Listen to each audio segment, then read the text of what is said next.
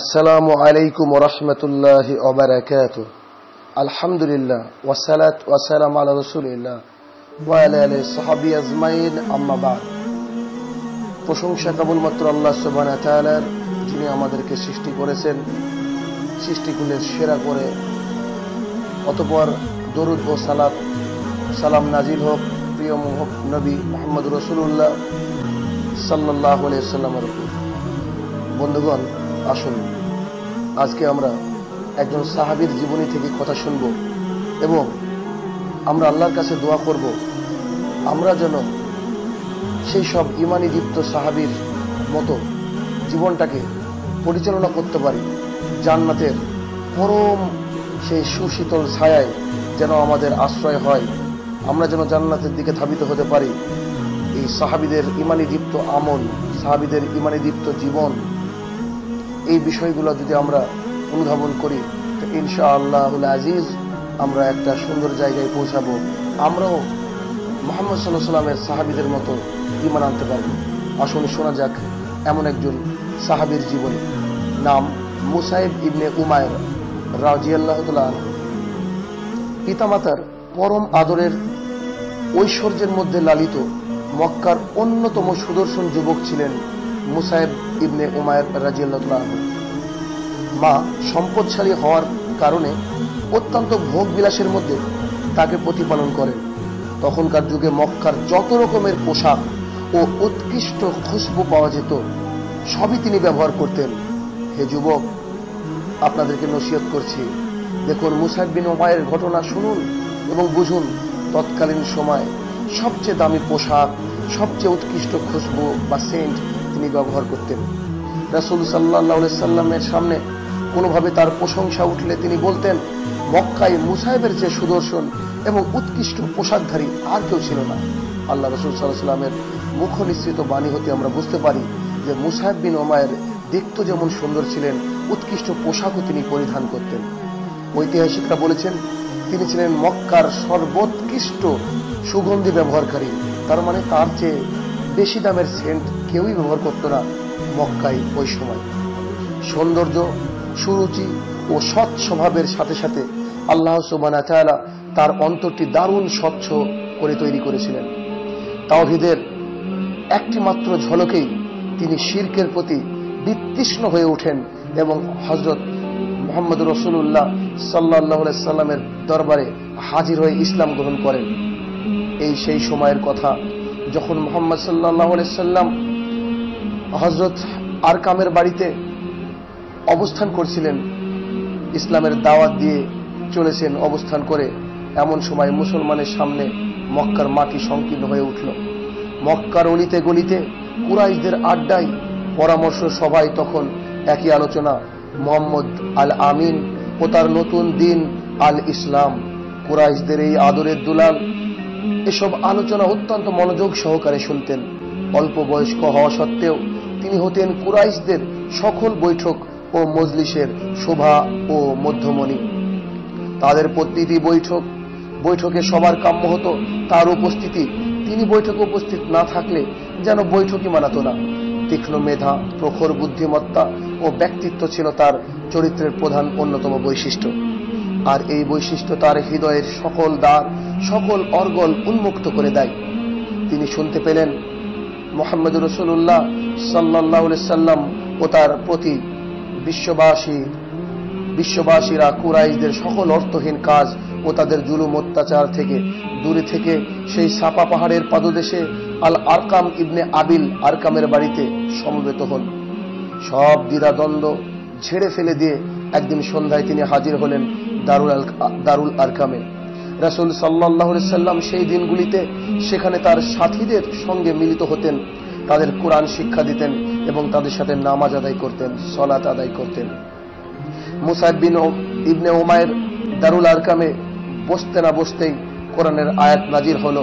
রাসুল সাল্লাহ সাল্লাম এর জবান থেকে সেই আয়াত বের হলো। তা যেন সকল শ্রোতার কর্ণকুহরে ও হৃদয়ের গভীরে প্রবেশ করতে লাগল। সেই বরকতময় সন্ধ্যায় ইবনে উমাইর হয়ে গেলেন এক বিশ্বাসী অন্তকরণের অধিকারী। খুশি ও আনন্দে তিনি হয়ে পড়েন আত্মহারা। রাসুল সাল্লাহ সাল্লাম এর একটি পবিত্র হাত বাড়িয়ে দিলেন মুসাইবের বুকের ওপর। দারুণ এক প্রশান্তিতে বিভোর হয়ে পড়েন মুসাইব। মুহূর্তে তিনি তার বয়সের তুলনায় বহুগুণ হিকমত ও জ্ঞান লাভ করলেন। এবং এমন দৃঢ়তা অর্জন করলেন যে হাজারো বিপদ, মুসিবত তাকে আর কোনোদিনও বিন্দু মাত্র টলাতে পারেনি। মুসাইবের মা খুনাস বিন্তু মালিক, এক প্রচণ্ড ব্যক্তিত্বের অধিকারিণী, মুসাইব তাকে জমের মতো ভয় করতেন। তিনি ইসলাম গ্রহণের পর ধরাপৃষ্ঠে একমাত্র তার মা ছাড়া আর কাউকে ভয় পেতেন না। কুরাইশ তাদের দেব দেবী সহ সকল শক্তি তার কাছে তুচ্ছ মনে হলো, কিন্তু মায়ের ভয় তিনি দূর করতে পারলেন না। তাই সিদ্ধান্ত নিলেন, আল্লাহর চূড়ান্ত ফাইসালা না হওয়া পর্যন্ত ইসলাম গ্রহণের সংবাদটি চেপে যাওয়ার দারুল আলকামে যাতায়াত করতে লাগল। লাগলেন, আল্লাহ রসুল সাল্লা সাল্লামের মজলিসে বসতে লাগলেন, কিন্তু তার মা কিছুই জানতে পেলেন না। একদিন গোপনে তিনি দারুল আরকামে প্রবেশ করছেন। উসমান ইবনে তালহা তা দেখে ফেললেন, আরেকদিন তিনি মোহাম্মদ সাল্লাহ সাল্লামের মতো নামাজ পড়ছেন, সেদিনও তা উসমানের চোখে পড়ে যায়। বাতাসের আগে খবরটি মক্কার অলিতে গলিতে ছড়িয়ে পড়ল। তার মায়ের কানেও খবরটি পৌঁছে গেল। মুসাইবকে তার মা, গোত্রের লোকজন ও মক্কার নেত- নেত্রবৃন্দের সামনে কাঠগড়ায় দাঁড় করানো হলো। তিনি অত্যন্ত স্থির বিশ্বাস ও প্রশান্ত চিত্তে তাদেরকে পাঠ করে শোনাতে লাগলেন। কোরআনুল করিমের সে মহাবাণী যা যার উপর তিনি ইমান এনেছিলেন।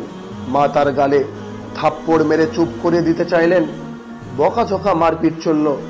তারপর তাকে ঘরে আবদ্ধ করে রাখা হলো। তিনি বন্দি অবস্থায় কাটাতে লাগলেন। রাত্রি দিন চব্বিশ ঘণ্টা তাকে পাহারা দেওয়া হতো। এর মধ্যে তিনি খবর পেলেন, তারই মতো কিছু মমিন মুসলমান হাবসায় হিজরত করছেন। তিনি মায়ের চোখে ধুলো দিয়ে সেই দলটির সাথে হাবসায় চলে গেলেন। একদিন মুসলমানদের একটি দল রাসুল সাল্লাহ সাল্লামের পাশে বসে আছেন। এমন সময় পাশ দিয়ে তারা মুসাইবকে যেতে দেখলেন। তাকে দেখেই বৈঠকে উপস্থিত সকলের মধ্যে ভাবান্তর সৃষ্টি হলো।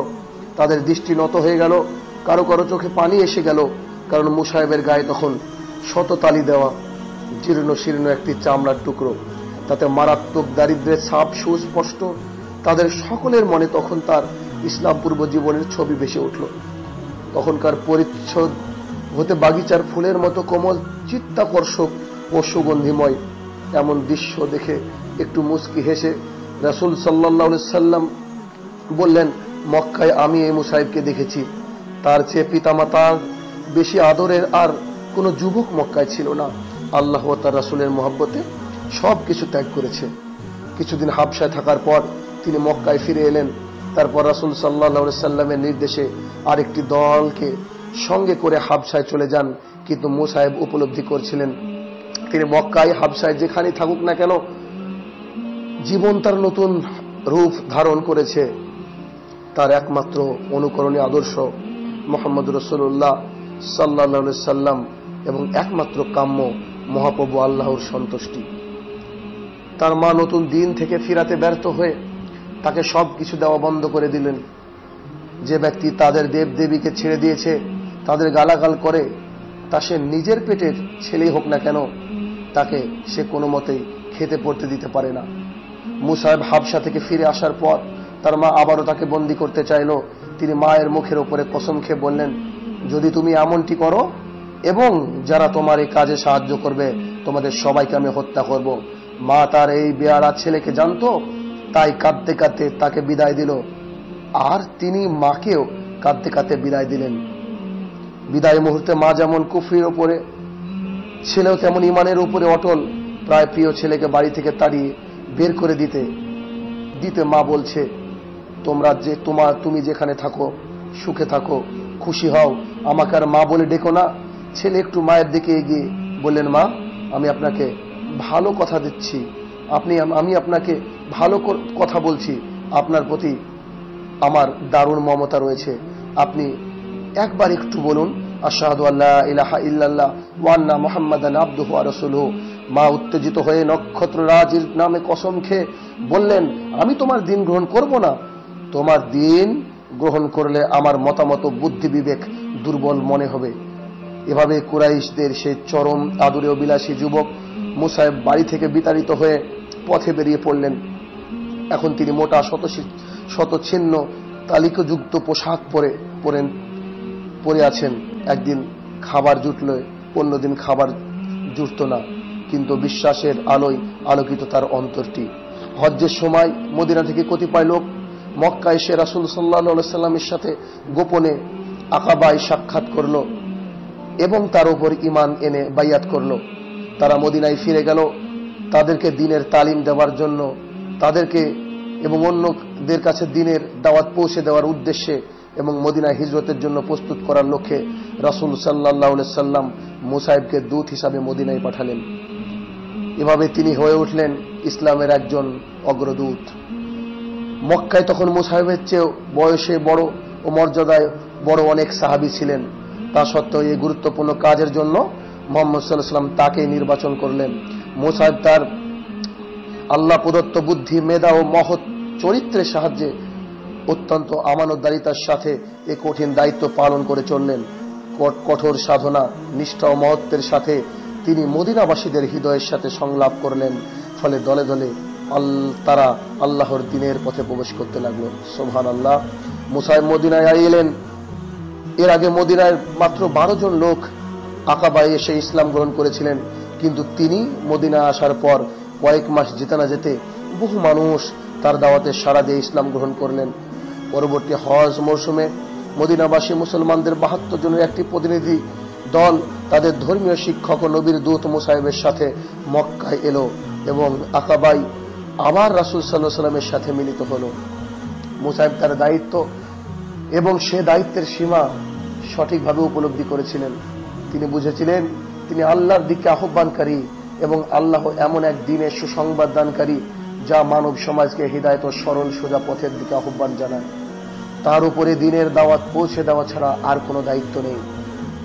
বু সাহেব মদিনায় পৌঁছে আসাদ ইবনে জার্রার অতিথি হলেন। তারা দুজন মদিনার বিভিন্ন গোত্রে, বিভিন্ন বাড়িতে এবং সমাবেশে এক আল্লাহর দিকে মানুষকে দাওয়াত দিতে লাগলেন। নানা রকম বাধারও সম্মুখীন হলেন, কিন্তু বুদ্ধি, প্রজ্ঞা ও ধৈর্যের সাথে সব বাধা তারা অতিক্রম করলেন। একদিন তিনি কিছু লোককে দাওয়াত দিচ্ছিলেন। হঠাৎ বাণী বাণী আব্দিল আসাহালের নেতা উসাইদ ইবনে হুদাইর সশস্ত্র অবস্থায় দারুণ উত্তেজিতভাবে উপস্থিত হলেন। তার ভীষণ রাগ সেই ব্যক্তিটির ওপর, যে কিনা মোহাম্মদ সাল্লাহ সাল্লামের দূত হিসেবে এখানে এসেছে এবং মানুষকে তাদের পৈতৃক ধর্ম ত্যাগ করতে উৎসাহিত করছে। সে তাদের উপাস্য দেব দেবীকে গালাগাল করছে। উসাইদের এই রণমূর্তি দেখে মুসাইব, মুসাইবের পাশে বসা মুসলমানরা ভয়ে থরথর করে কাঁপতে লাগলেন। কিন্তু না, মুসাইব ভয় পেলেন না। সহাস্যে উসাইদকে স্বাগতম জানাতে লাগলেন, হাসতে হাসতে তার সামনে গিয়ে দাঁড়ালেন। উসাইদ তখন তাকে ও আসাদ ইবনে জার্রাকে লক্ষ্য করে বলছে, তোমরা আমাদের গোত্রীয় এলাকায় এসে এভাবে আমাদের দুর্বল লোকদের বোকা বানাচ্ছ কেন? যদি তোমাদের মরার শখ না থাকে, তাহলে আমাদের এলাকা থেকে বেরিয়ে যাও। হাসতে হাসতে মুসাদ তাকে বললেন, আপনি একটু বসে আমার কথা শুনবেন না? আসুন, আমরা একটু কথা বলি, আমার কথা একটু শুনুন। ভালো লাগলে মানবেন, না ভালো লাগলে আমরা চলে যাব। উসাইদ ছিল একজন বুদ্ধিমান লোক। মুসাহেবের সাথে তার কথা, মুসাইবের কথা তার ভালো লাগল। এ তো বুদ্ধিমানের কথা। শুনতে আপত্তি কিসের? সে অস্ত্র ফেলে মাটিতে বসে কান লাগিয়ে মুসাইবের কথা শুনতে লাগল। মুসাইব পবিত্র কোরআন এর এক অংশ তিলাওয়াত করছিলেন, করে নবী করিম সাল্লাহ সাল্লাম যে দিন নিয়ে এসেছেন তার ব্যাখ্যা করছেন। আর এদিকে উসাইদের মুখমণ্ডল একটু একটু করে হাস্যোজ্জ্বল হয়ে উঠেছে। মুসাইব তার বক্তব্য এখনও শেষ করতে পারেনি। এর মধ্যে উসাইব ও তার সঙ্গী লোকটি বলে বসল, এ খুব চমৎকার ও সত্য কথা। তোমাদের দিনে প্রবেশ করতে গেলে কি করতে হয় বলো? মুসাইব বললেন, শরীর ও পোশাক পবিত্র করে লা ইলাহা ইল্লাল্লাহ এই সাক্ষ্য দিতে হবে। উসাইদ উঠে চলে গেল। কিছুক্ষণ পর যখন ফিরে এলো তখন তার মাথার চুল থেকে টপ টপ করে পানি পড়ছে। দাঁড়িয়ে তিনি ঘোষণা করলেন, আশহাদু আল্লাহ ইলাহা ইল্লাল্লাহ ওয়া আন্না মুহাম্মাদার রাসূলুল্লাহ। এই খবর চারিদিকে ছড়িয়ে পড়ল। সাদ ইবনে মুয়াজ সাদ ইবনে উবাইদা উবাদা ছুটে এলেন মুসাইবের নিকট। তারা উভয় ইসলাম গ্রহণ করলেন। এসব নেতৃবৃন্দের ইসলাম গ্রহণের পর সাধারণ মদিনাবাসী বলা বলি করতে লাগল, আমরা পেছনে পড়ে থাকব কেন? চলো যাই, মুসাইবের কাছে আমরা সবাই ইসলাম গ্রহণ করি। এভাবে আল্লাহ রসুল সাল্লামের প্রথম দূত এমনভাবে সফল হলেন যে তার কোনো তুলনা ইতিহাসে নেই। সময় দ্রুত গতিতে বয়ে চলল। রাসুল সাল্লাহ সাল্লাম ও তার সঙ্গী সাথীরা মক্কা থেকে মদিনায় হিজরত করে এসেছেন। হিংসায় কুরাইশরা জ্বলতে লাগল। মদিনা থেকেও তাদেরকে সমলে উৎপাট করার ষড়যন্ত্র করল। বদলে তারা এমন শিক্ষা পেল যে তাদের হিংসা প্রতিশোধ স্পৃহা প্রতিশোধ স্পৃহায় রূপান্তরিত হলো। তারা আবার ওহুদের, ওহুদে মুসলমানদের মুখোমুখি হল। যুদ্ধ শুরুর পূর্বে রাসুল সাল্লাহ সাল্লাম মুসলিম বাহিনীর মাঝখানে সবার মুখের দিকে তাকাচ্ছেন, চিন্তা করছেন, আজ ইসলামের ঝান্ডাটি কার হাতে দেওয়া যায়? গভীরভাবে নিরীক্ষণ করলেন, তারপর মুসাইবকে ডাকলেন, তারই হাতে ঝান্ডাটি তুলে দিলেন। সুবহানাল্লাহ। তুমুল যুদ্ধ শুরু হয়ে গেল। কুরাইশ বাহিনী পরাজয়ের মুখোমুখি। এমন সময় মুসলিম তীরন্দাজ বাহিনী তীরন্দাজ বাহিনী, রাসুল সাল্লাহ সাল্লামের নির্দেশ ভুলে গিয়ে নিজেদের অবস্থান থেকে সরে কুরাইশদের পিছে পিছু ধাওয়া করল। কিন্তু তাদের এ কাজ মুসলিম বাহিনী সুনিশ্চিত বিজয় নৎসাত করে দিয়ে পরাজয় বয়ে নিয়ে এলো। মুসলিম তীরন্দাজ তীরন্দাজ বাহিনী ছেড়ে যাওয়া পথ, গিরিপথ দিয়ে ওই কুরাইশ বাহিনী আকস্মাত ঢুকে পড়ে পেছনের দিকে থেকে এক মুসলিম বাহিনীকে আক্রমণ করল। মুসলিম বাহিনী বিশৃঙ্খল হয়ে পড়ল। এই সুযোগে কুরাইশ বাহিনী তাদের সর্বশক্তি নিয়োগ করে রাসুল সাল্লাহ সাল্লামকে ঘিরে ফেলল। মুসাইবিন উমার উমায়ের বিপদে ভয়াবহতা উপলব্ধি করলেন। যতটুকু সম্ভব তিনি ঝান্ডা উঁচু করে ধরলেন, গলা ফাটিয়ে নেকড়ের মতো হোঙ্কার ছাড়তে লাগলেন এবং জোরে জোরে তাকবির দিতে লাগলেন। আর সেই সাথে লম্প জম্প করে আসফালা দেখাতে লাগলেন। তার উদ্দেশ্য হলো শত্রুদের দৃষ্টি। রাসুল সাল্লাহ সাল্লামের থেকে ফিরে এসে নিজের প্রতি নিবদ্ধ হওয়া। এভাবেই সেদিন তিনি নিজের একটি মাত্র সত্তাকে একটি মাত্র বাহিনীতে পরিণত করেন। অত্যন্ত আমানতদারিতার সাথে এক হাতে ঝান্ডা উঁচু করে ধরেন আর অন্য হাতে তরবারি প্রচণ্ড বেগে চালাতে থাকেন। শত্রু বাহিনী তার দিকে ঝুঁকে পড়ে এবং তার দেহের উপর দিয়ে তারা রসুল সাল্লাহ সাল্লামের কাছে পৌঁছে যাওয়ার চেষ্টা করে। হজরত মুসাহেব অন্তিম অবস্থা সম্পর্কে তিনি সাদ ইবনে সাদ বর্ণনা করেন। ওহদের দিন মুসাহেব ইবনে উমায়ের ঝান্ডা বহন করেন। মুসলমানরা যখন বিক্ষিপ্ত হয়ে পড়ে মুসাহেব তখন অটল হয়ে রুখে দাঁড়ান। অশ্বরে ইবনে কামিয়া তার দিকে এগিয়ে এসে তরবারি এক আঘাতে তার হাতটি বিচ্ছিন্ন করে ফেলে। মুসাহেব তখন বলে ওঠে ওয়াম্মা মোহাম্মদ ইল্লা রসুল, কাদ খালাত কাদ খালাত মিন কাবলিহি রসুলি। মোহাম্মদ সাল্লাহ সাল্লাম একজন রসুল ছাড়া আর কিছুই নয়। তার পূর্বে আরও বহু রসুল অতিবাহিত হয়েছে। মুসাহেব বাম হাতে ঝান্ডাটি তুলে ধরেন। তরবারিটি অন্য একটি আঘাতে, তরবারির অন্য এক আঘাতে তার বাম হাতটিও বিচ্ছিন্ন করে ফেলা হয়। আবারও তিনি মুহাম্মা মোহাম্মদ ইল্লা রাসুল এই কথাটি বলতে বলতে ঝান্ডার উপরে ঝুঁকে পড়ে দুই বাহুর দ্বারা সেটিকে তুলে ধরেন। তারপর তার প্রতি বর্ষা নিক্ষেপ করা হয়। পতাকা সহ তিনি মাটিতে ঢলে পড়েন। ইন্দালিল্লাহি ওয়া ইন্না ইলাইহি রাজিউন। হজরত মুসাইব শাহাদাতের পূর্বে যে বাক্যটি বারবার উচ্চারণ করছিলেন, তখনও সেই কোরআনের আয়াত নাজিল হয়নি। ওহুদের এই ঘটনার পরেই ওমা মুহাম্মাদুন ইল্লা রাসূল, এই আয়াতটি নিয়ে হজরত জিব্রাইল আলাইহিসসালাম উপস্থিত হন। যুদ্ধ শেষে হজরত মুসাইব লাশ মুসাইবের লাশ থেকে খুঁজে পাওয়া গেল রক্ত ও ধুলো বালিতে একাকার তার চেহারা। লাশের কাছে দাঁড়িয়ে রসুল সাল্লাম অঝরে কেঁদে ফেললেন। হজরত খাব্বা বিবনুল আরাত বললেন, আমরা আল্লাহ রসুল সাল্লাহ সাল্লাম আমরা আল্লাহর রাস্তায় আল্লাহর সন্তুষ্টির উদ্দেশ্যে রসুল সাল্লামের সাথে সাল্লাহ সাল্লামের সঙ্গে হিজরত করেছিলাম, আমাদের এই কাজের প্রতিদান দেওয়া আল্লাহর দায়িত্ব। আমাদের মাঝে যারা তাদের এই কাজের প্রতিদান মোটেও না নিয়ে দুনিয়া থেকে বিদায় নিয়েছেন, তাদের একজন মুসাইব ইবনে উমায়ের বহুতে তিনি সাহায্য বরণ করলেন। তাকে কাফন দেওয়ার জন্য এক প্রস্তুত চাদর ছাড়া আর কোনো কাপড় পাওয়া গেল না। তা দিনে তিনি মাথা ডাক তার মাথা ডাকলে পা বেরিয়ে যায়, পা ডাকলে মাথা বেরিয়ে যায়। সে সময় একটি রাসুল সাল্লাহ সাল্লাম আমাদের বললেন, চাদর দিয়ে মাথার দিকে যতটুকু হয় ঢেকে দাও, বাকিটা পায়ের দিকে। ইজখির ঘাস দাও। রাসুল সাল্লাম মুসাইবের লাশের পাশে দাঁড়িয়ে পাঠ করলেন, মিনাল মুমিনিনা রিজালুন সাদাকু আহাদুল্লাহ আলাইহি। মুমিনদের এমন কিছু লোক আছে যারা আল্লাহর সঙ্গে সাথে অঙ্গীকারে, সত্যে পরিণত, অঙ্গীকার সত্যে পরিণত হয়ে করেছে। তারপর তার কাফনের চাদরটির প্রতি তাকিয়ে বলেন, আমি তোমায় মক্কায় দেখেছি সেখানে তোমার চেয়ে কোমল চাদর এবং সুন্দর জুলফি আর কেউ কারও ছিল না। আর আজ তুমি এই চাদরে ধুলোমলিন অবস্থায় পড়ে আছো। তিনি আরও বললেন, আল্লাহ সাক্ষী দিচ্ছে। কিয়ামতের দিন তোমরা সবাই আল্লাহ সাক্ষী। কাজে সাক্ষ্যদানকারী হবে। অতপর সঙ্গীর দিকে ফিরে ফিরে গিয়ে তিনি বললেন, ওহে জনমণ্ডলী, তোমরা তাদের জিয়ারত করো, তাদের কাছে এসো। তাদের ওপর সালাম পেশ করো। যার হাতে আমার জীবন সেই সত্তার শপথ। কিয়ামত পর্যন্ত যে কেউ তাদের উপরে সালাম পেশ করবে, তারা সেই সালামের জবাব দিবে। সুবহান আল্লাহ সুবহান আল্লাহ বেহামদি। হজরত মুসাহেবের ভাই আবুর রাওয়াম ইবনে ওমাইর আমের ইবনে রাজিয়াহ এবং সুয়াইদ ইবনে সাদ তাকে কবরে নামিয়ে দাফন কাজ সম্পূর্ণ করেন। আল্লাহ আমাদেরকে এইভাবে সাহাবিদের মতো ইমান আল্লাহ তৌফিক আদা করুক। আল্লাহ আমিন। আসসালামু আলাইকুম রহমতুল্লাহি ওয়া বারাকাতুহু।